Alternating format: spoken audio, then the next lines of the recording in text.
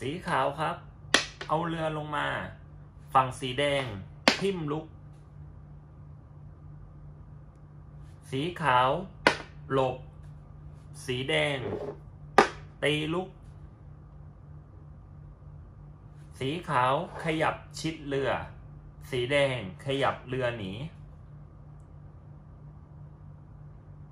สีขาวจึงเอาม้าตีลุก สีแดง หลบ จากนั้นสีขาวปิดเกม ลุกจน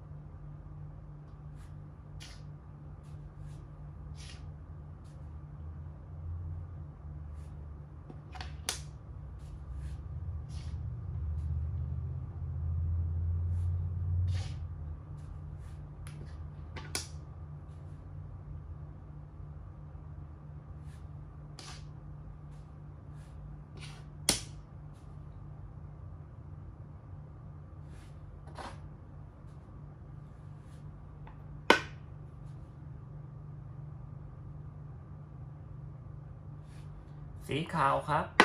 หลบ สีแดง ลุก สีขาว หลบ สีแดง เอาเรือกด สีขาวเดินเบี้ย ฝั่งสีแดงครับ ถอยโคนกิน สีขาวถอยเบี้ยกินม้า